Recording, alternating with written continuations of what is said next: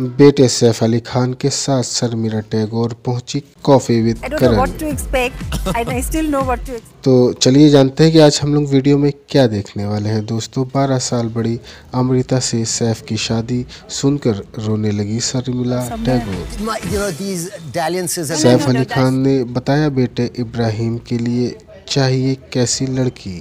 शर्मिला टैगोर को ऐसे पता चली थी करीना के बेटे सैफ के साथ लव स्टोरी के बारे में। पहली बार पत्नी से सैफ ने लिया तलाक टूट गया था परिवार। चलिए दोस्तों अब देरी ना करते हुए हम वीडियो की तरफ़ बढ़ते हैं लेकिन वीडियो में बढ़ने से पहले आपसे रिक्वेस्ट है यदि आप हमारे चैनल को लाइक एंड सब्सक्राइब नहीं किए हैं तो कृपया हमारे चैनल को लाइक एंड सब्सक्राइब करें और हमारा उत्साह बढ़ाएँ।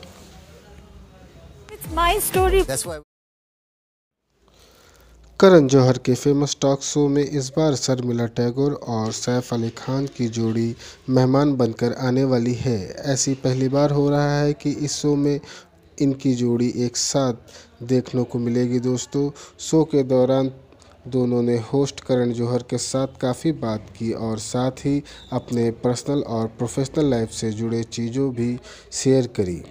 दर्शकों को काफ़ी पसंद आ रहा है। इस शो में अभी तक कई सेलिब्रिटीज़ आ चुके हैं। अब पहली बार करण के शो में माँ बेटे की जोड़ी यानी सर मीला टैगोर और सैफ अली खान मेहमान बनकर आ रहे हैं दोस्तों। दोनों की ये जोड़ी करण जौहर के साथ मिलकर शो में पर्सनल और प्रोफेशनल लाइफ से जुड़े कई खुलासे और मस्ती की है। कॉफ़ी विद करण में होस्ट करण ने यह बात बताया कि उन्होंने रॉकी और रानी की प्रेम कहानी में दादी का किरदार पहले शर्मिला टैगोर को ऑफ़र किया था। इसके बाद एक्ट्रेस ने यह खुलासा किया उन्होंने उन्होंने इस रोल के लिए क्यों मना कर दिया था?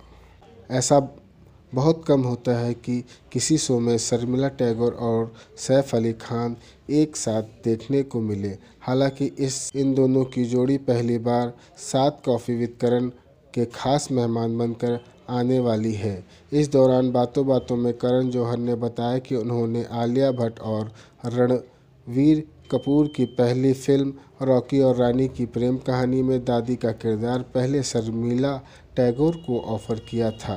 करण ने कहा कि मेरे पहली पसंद शर्मिला टैगोर थी। उस समय स्वास्थ्य कारणों से वह हाँ नहीं कर सकी, लेकिन मुझे इसका अफसोस है।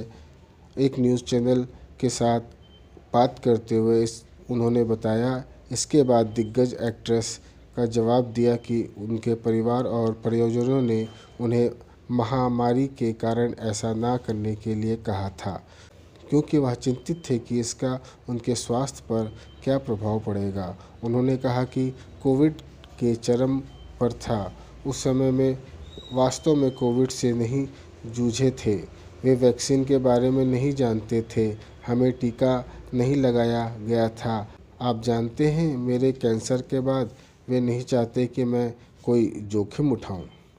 बता दें कि राखी और रानी की प्रेम कहानी कोविड 19 लहर के दौरान शूट किया गया था। जब जब शर्मिला टैगोर दिल्ली में थी तो उनकी और शबाना की मुलाकात भी हुई।